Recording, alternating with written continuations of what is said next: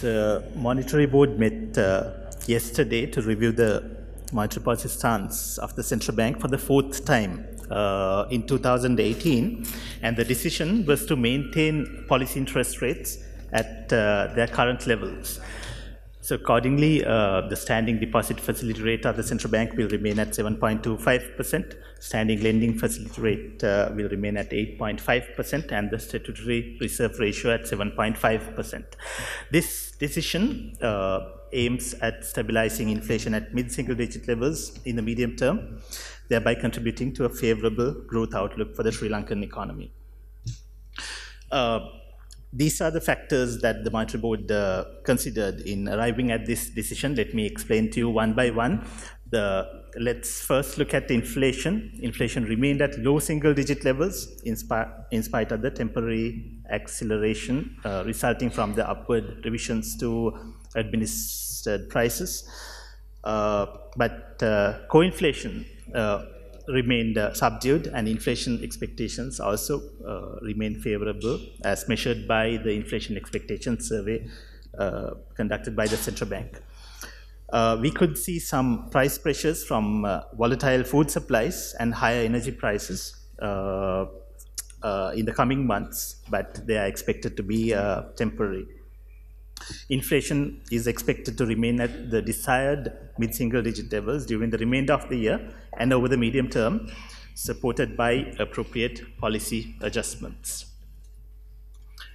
Uh, the Department of Census and Statistics released the provisional estimates for the first quarter uh, 2018 uh, uh GDP uh, growth Accordingly, the economy grew by 3.2% in the first quarter 2018 uh, compared to the revised annual growth rate of 3.3% in 2017. This growth of 3.2% uh, was due to uh, the services sector growth of 4.4%, agriculture sector growth of 4.8%, uh, and uh, industry uh, activity growth of 0.9%. We believe that uh, going forward, uh, there are several growth supportive factors that uh, we uh, see and we would like to see in future as well. The, uh, those three points are the government's continued commitment to the implementation of structural reforms, uh, the recovery in the global economy, as well as the prevalence of a low inflation environment and an appropriately valid flexible exchange rate. Uh, if we look at the market interest rates, we see that uh, due to the uh, deficit in rupee uh, in the rupee market that we observe at the moment, uh, short-term interest rates, uh, the overnight interest rates have increased, and the other market interest rates remain broadly stable at high levels.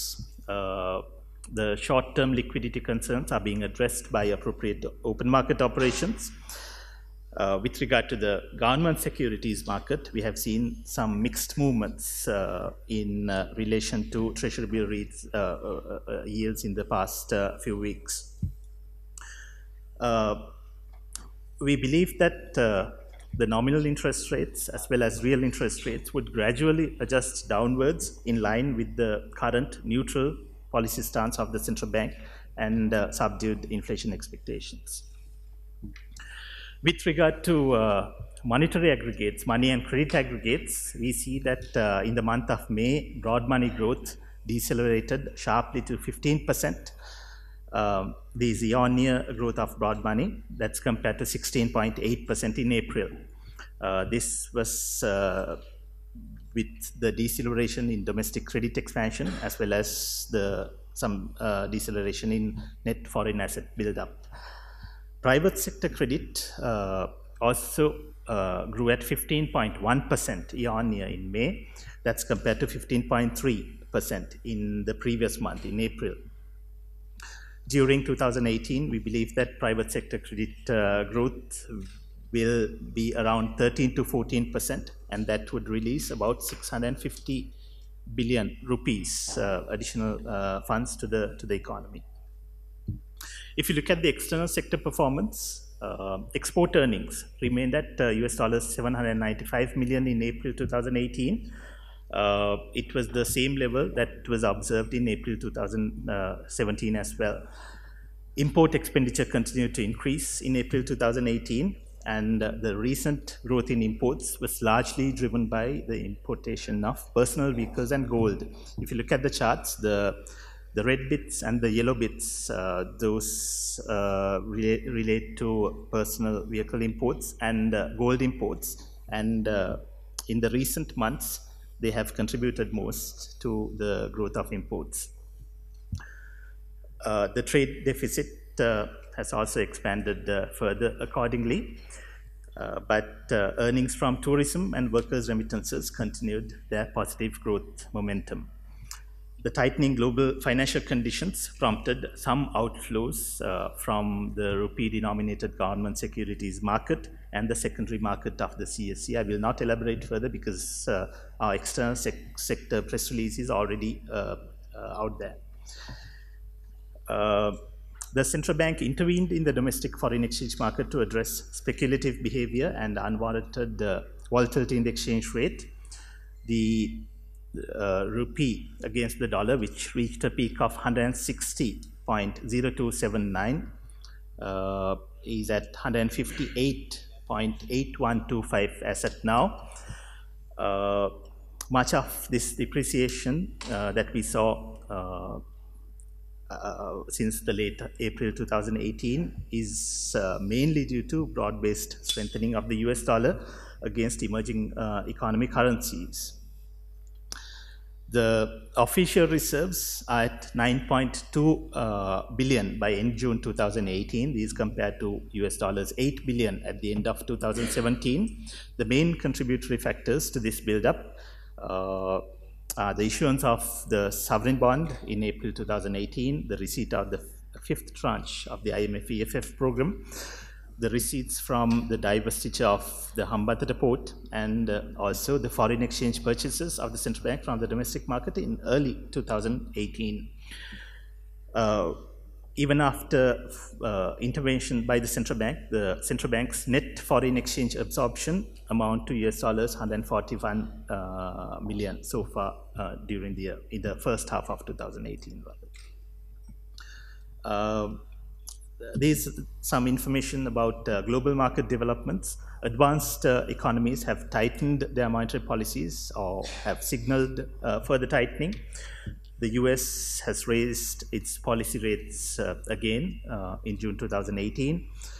The European Central Bank has announced the end to its asset purchase program by uh, in 2018, and the Bank of England has also signaled the need for rate hikes in the period ahead.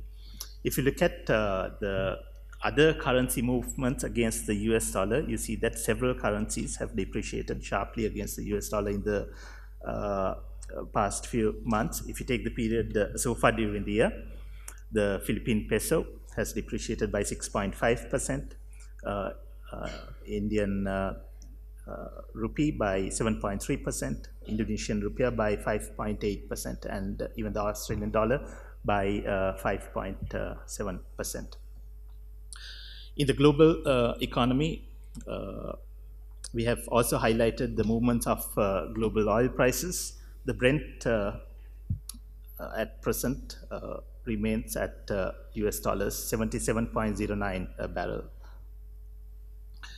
So based uh, on these uh, macroeconomic developments, the Monetary Board of the Central Bank uh, was of the view that the continuation of the current monetary policy stance is appropriate and the central bank will remain vigilant on uh, global market developments and uh, their spillover effects while continuing to uh, closely monitor domestic real economic activity. Thank you very much and let me invite my colleagues to uh, uh, do brief presentations in Sinhala and.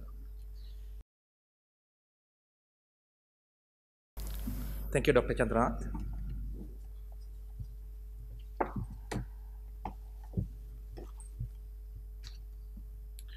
අයිබෝවන් මෙවර එනම් දෙදස් දහට අංක හතර මුදල් ප්‍රතිපත්ත තීරණය වූයේ ප්‍රතිපත්ති පොලි අනුපාතික දැනට පවතින මට්ටමේ පවත්වා ගැනීම. මෙම තීරණය මෙම මුදල් මණ්ඩලයේ තීරණය මගින් මැදිකාලීනව උද්ධමනය මැද තනියක්ය අට්ටමක පවත්වා ගැනීම සහ එමගින් ශ්‍රී ලංකා ආර්ථිකයේ හිතකල වර්ධනය සඳහා දායක වීම අරමුණු වුණා. මෙම තීරණ ගැනීම සඳහා බලපෑ සාර්වාර්ථික සාධක මම දැන් ඉතා කෙටියෙන් ඉදිරිපත් කරන්නම්. මුලින්ම අපි සලකා බලමු උද්ධමනය. අ, පරිපාලිත බාණ්ඩ මිල ගණන් ඉහළ නැංවීමේ ප්‍රතිඵලයක් ලෙස සිදු වූ තාවකාලික ඉහළ යෑමේ හමු යෑම් හමුවේ වුවද උද්ධමනය තනි අගයක පවතුනා. නිතර මිල උච්චාවාචනය වන ආහාරවල බ- ආහාරවල සහ බලශක්ති මිල ගණන් ඉදිරි මාසවලදී ඉහළ යනු ඇතැයි අපි අපේක්ෂා කරනවා. මූලික උද්ධමනය අඩු මට්ටමක පැවති අතර උද්ධමන අපේක්ෂා හිතපත් හිටගර මට්ටමක පවතිනවා. අ, ජනස හා සංඛ්‍යාලේඛන දෙපාර්තමේන්තුව මගින් ප්‍රකාශිත තාවකාලික ඇස්තමේතු අනුව ශ්‍රී ලංකා ආර්ථිකය දෙදස් දහට වසරේ පළමු කාර්තුව තුළදී සියට තුනයි දශම දෙකකින් වර්ධනය වෙලා තිබෙනවා. දැන් අපි පොලි අනිපාතකයන් පිළිබඳ සලකා බලමු. අ, අකණ්ඩව පවතින හිඟ දවශීලතාවය හේතුවෙන් කෙටිකාලන පොලි අනුපාතික ඉහළ ගියා අනෙකුත් වෙනද පොල අනුපාතිකයන් ඉහළ මට්ටම වල ස්ථායව පවතුනා. අ, මෙම කෙටිකාරණ හිඟ දවශීලතා තත්ත්වයට සුදුසු විවට වෙළඳ පොළ මෙහෙවුම් කටයුතු තුළින් පිළියම් විදීමට අපේක්ෂිතයි ඉදිරි කාලයේදී. අ, රජයේ සුරකුම් පත් මත පලදානුපාතික මැතදගේ මෑතකදී මිශ්‍ර හැසිරීමක් පෙන්නුම් කළා. ඒවගේම ශ්‍රී ලංකා මහබැංකුවේ මධ්‍යස්ථ මුදල් ප්‍රතිපති ස්ථාවරයට අනුරූපීව ඉදිරි කාලයේදී අ, නාමික සහ මූර්ත පොලි අනුපාතික ක්‍රමයෙන් අඩුවනු ඇතැයි අපි අපේක්ෂා කරනවා. මුදල් සමස්තයන්හි වර්ධනය අපේක්ෂා අපේක්ෂිත ලෙස මන්දකාන්න වුණා අ, පසුගිය මාස- අ, මැයි මාසයේදී. දැන් අපි අ, විදේශී අංශය ක්‍රියාකාරිතය සලකලා බලමු. අපනායන ආදායම් දෙදස් දහත අප්‍රේල් මස වාර්තා කළ අගේ හා සමානව දෙදස් දහට අප්‍රේල් මාසේදීද එක්සත් ජනපද ඩොලර් මිලියන හත්සය අනු පහක් ලෙස වාර්තා වුණා. දෙදස් දහට අප්‍රේල් මාසේදීද ආනායන වියදම් අකණ්ඩව ඉහළ ගියා එම්- එමගින් වෙළඳ ශේෂය තවදුරටත් පුළුල් වුණා. සංචාරක පෙවීම් සහ විදේශ සේවා නියුක්තිකයන්ගේ ආ- ප්‍රේෂණ අකණ්ඩව ධන වර්- වර්ධනයක් වාර්තා කළා. දැඩි ගෝලිය මූල්‍ය තත්ත්වයන් හමුවේ අ, රජයේ උසරකුම්පත් වෙනත පොලෙන් සහ කොළඹ කොටස් මාරුවේ ජීවිතක වෙනත පොලෙන් යම් මූල්‍ය ගලායාමක් වාර්තා වුණා. ස පෞද්ගලික වාහන සහ රත්රන් ඉහළ යාම මෑත්තකදී ආනයන ඉහළ යාමට අ, වර්ධනයට හේතු වුණා. නමුත් අප්‍රේල් මාසයේදී රත්රන් ආනය මත පවන ලද තීරුබදු හේතුවෙන් අපි අපේක්ෂා කරනවා අ, අ, රත්රන් ආනායනය අඩුවී තිබෙනවයි කියලා. අනසි වාසි ලබා ගැනීම අරමුණෙන් කටයුතු කිරීම පාලනය කිරීම සහ විනිමය අනුපාතකයේ ඉහළ උච්චාවචන මැඩ පවත්වීම සඳහා ශ්‍රී ලංකා මහ බැංකුව දේශීය ව- විදේශ අ, දේශීයව විදේශීය විනි- විනිමය වෙළඳපොළ තුළට මැදිහත් වුණා. දෙදස් දහට ජූනි මාස අවසාන වනට නිල දල නිල සංචිත ප්‍රමාණය එක්සත් ජනපද ඩොල බිලියන නමය දශම දෙකක් ලෙස ඉහළ ගියා. ඒ සඳහා දෙදස් දහට වසර අප්‍රේල් මාසයේදී ජාත්‍යන්තර සෛරිත්ව වෙළඳ පැදුම් කර අ, නිකුතුව මෙන්ම ජාත්‍යන්ත්‍ර මූල්‍ය අරමුදලේ විස්තීර්ණ ණය පහසුකම් යටතේ පස්වන වාරිකය ලැබීම සහ හම්බන්තොට වාරාය ආයෝජකයන් වෙත පැවරීමෙන් ලද ලැබීම් නුත් සමගම දෙදස් දහට වසරේ මුලභාගයේදී අ, ශ්‍රී ලංකා මහ බැංකුව වෙතින් අ, දේශීය වෙළඳ පොලින් විදේශීය අ, විනිමය මිලදී ගැනීමත් අ, බලපෑවා. තැන අපි අ, ගෝලිය වර්ධනයන් තමත් කෙටියෙන් සලකර බලමු. අ, සංවර්ධ ආර්ථකයන් අ, සිය මුදල් ප්‍රතිපත්ති අ, දැඩි කලා ඒත් එකම ගෝලිය අ, තෙල් මිල ගණන් දෙදස් දහට මේ දෙදස් දහටේ පුරාම ඉතා ඉහලාගේක පැවතුනා. අ, මෙම වර්ධනයන් මත අ, සාර්වාර්ථික වර්ධනයන් මත පදනම්ව දැනට පවතින මුදල් ප්‍රතිපත්තිය අ, ස්ථාවර වකණ්ඩුව පවත්ව ගැනීම යෝග්‍ය බව ශ්‍රී ලංකා මහ බැංකුවේ මුදල් මණ්ඩලය අදහස වුණා. ගෝලිය වෙළඳපොළ වර්ධනයන් සහ මගින් ඇතිවිය හැකි බලපෑම් පිළිබඳ මහ බැංකුව අවධානය යොමු කරන අතර දේශීය මූර්ති මූර්ත ආර්ථික කටයුතු සමීපව අධ්‍යයනය කිරීම අකණ්ඩව සිදු කරනු ලබනවා. ස්තුතියි. அனைவருக்கும் காலை வணக்கங்கள். நாணய சபையானது நேற்று நடைபெற்ற அதனது கூட்டத்தில் தனது கொள்கை வட்டி வீதங்களை மாற்றமின்றி அதே மட்டத்தில் பேணுவதென தீர்மானித்து கொண்டது. இந்த தீர்மானமானது நடுத்தர கால பகுதியிலே பணவீக்கத்தை நடுவோற்றை இலக்க மட்டத்தில் பேணுவதனையும் அதன் மூலம் பொருளாதார வளர்ச்சிக்கு ஆதரவளிப்பதனையும் நோக்கமாக கொண்டிருந்தது. இந்த தீர்மானத்துக்கு மேற்கொள்ளப்பட்ட முக்கிய கவனத்தில் எடுக்கப்பட்ட முக்கிய காரணங்களில் ஒன்றாக காணப்பட்டது. அண்மை காலத்தில் தொடர்ச்சியாக மிதமாக காணப்படுகின்ற முதன்மை பணவீக்கமாகும். நிர்வகிக்கப்பட்ட விலைகளில் ஏற்பட்ட சீர்திருத்தங்களின் காரணமாக சிறிதளவு விலை அழுத்தங்கள் காணப்பட்ட பொழுதிலும் தொடர்ச்சியாக முதன்மை பணவீக்கம் தாழ்ந்த ஒற்றை மட்டத்திலேயே தொடர்ந்தும் காணப்படுகின்றது. இதற்கு மேலதிகமாக மைய பணவீக்கமும் மிகவும் தாழ்ந்த மட்டத்திலேயே தொடர்ந்தும் காணப்படுகின்றது.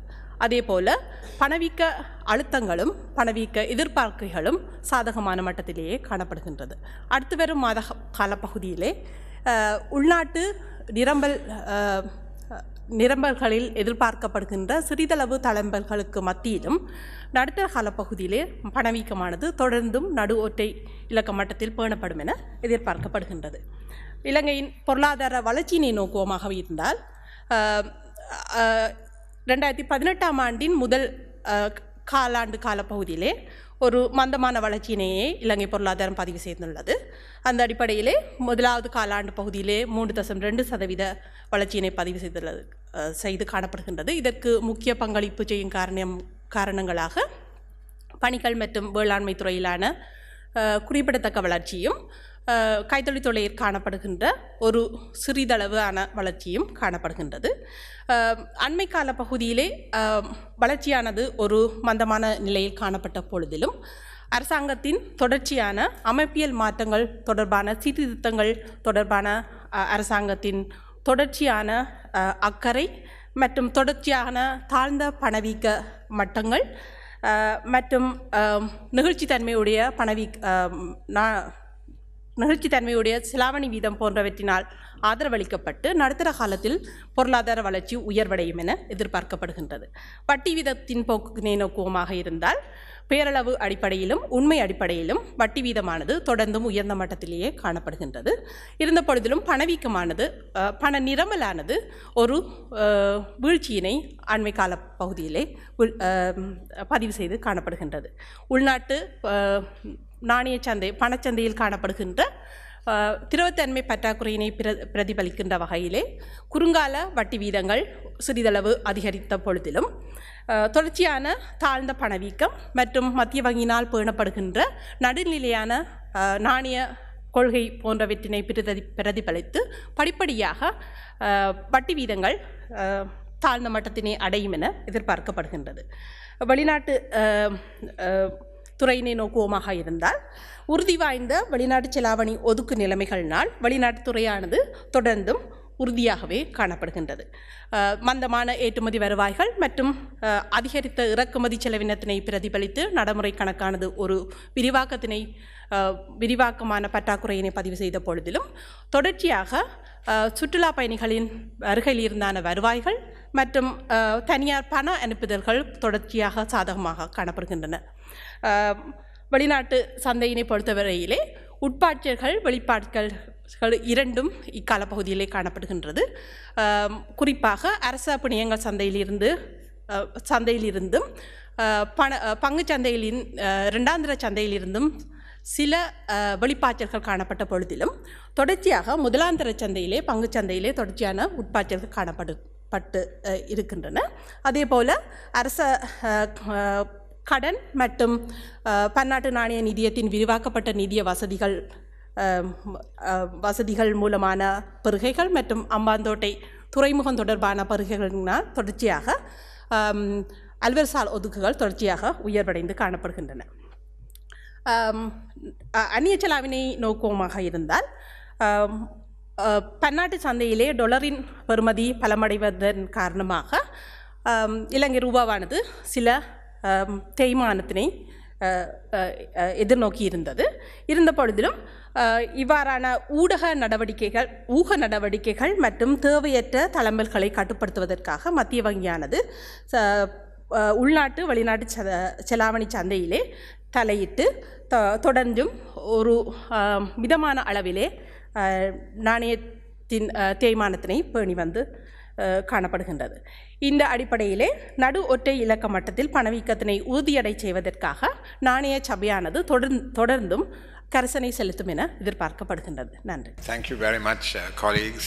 Um, as uh, we've done in uh, previous meetings, um, let me give you a flavor of the discussion that took place at the Monetary Board, a discussion which, as you have heard, uh, resulted in the policy rates being left unchanged.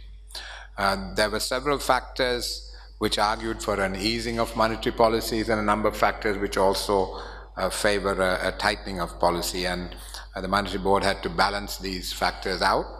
So, what were the factors leading to an easing of monetary policy, arguing for an easing of monetary policy? Growth came out at 3.2% in the first quarter of this year. Um, that clearly means that there's still a negative output gap. Um, core inflation is well within uh, our target range. Uh, core inflation is that component of inflation that monetary policy can influence, and that is just a little under 4%, uh, it's well under 4%, in fact. Uh, so that's uh, very much uh, contained. The inflation outlook also remains uh, favorable, and our expectation surveys indicate that inflation expectations are fairly well anchored. Uh, real interest rates are high. Um, the one-year Treasury bill rate, I think, is about 9.5 now, uh, and uh, with inflation running below 5%, clearly uh, real interest rates of 5% or a little bit more than that uh, is very high. Um, we have also we also continue to see a, a, a moderation of monetary aggregates and credit growth. Um, the liquidity conditions are tight. Uh, in fact, as you saw, the the average uh, weighted call money rates up uh, against the upper bound of the policy rate corridor, and the central bank has been conducting open market operations uh, to uh, address the tightness of the liquidity in the market. So those are all factors which argue for a, a possible loosening of policy. But as against that, there are a number of factors which support a tightening of policy. Uh, one is the rising international interest rates. Uh, if we were to compress our interest rate differential between ourselves and uh, the US rates, which the US Treasury rates, which tend to be the benchmark rates, um, there could be an acceleration of outflows uh, from uh, the uh, rupee denominated uh, treasury market, uh, where there is a little less than 2 billion US dollars of money invested. Then there is the increase um, global oil prices. And we've also seen in the first uh, four months, four, five months of the year, that there has been a widening of the trade deficit and the current account deficit.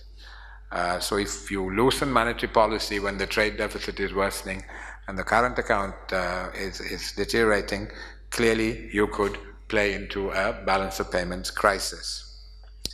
And we've also seen pressure on the exchange rate. This, of course, is a, an emerging market phenomenon. Uh, and the other factor that we need to keep an eye on uh, is the fiscal performance. Um, the government is likely to meet the June 30 target uh, uh, targets for the on the fiscal front, uh, but clearly there is always uh, pressure on the fiscal side, and we would need to watch that. So, on balance, uh, the monetary uh, board, uh, which, as you know, uh, signaled the end of the tightening cycle two meetings ago uh, by uh, reducing the upper bound of the policy rate corridor by 25 basis points, decided to uh, maintain the neutral policy stance it has adopted uh, at its last couple of meetings uh, and left rates unchanged. Before I throw the, the floor open to questions, I'd like to just make a few remarks because there is um, often when growth is low uh, and elections approach, there is a great uh, deal of pressure that comes to to reduce interest rates as a way of boosting boosting growth, uh, boosting uh, uh, economic activity. But there are a number of reasons why this would be uh, singularly unwise. Um, now, and also that isn't that we've said uh, all along that we will have a data-driven monetary policy, and if you look at the data, uh, it doesn't argue for a loosening of monetary policy. Why do I say that? Now, nominal GDP, if you look at uh, inflation running at about four or a little over four percent, growth a little over three percent, nominal GDP is growing at about eight percent. Um, yet credit growth is up around 15%.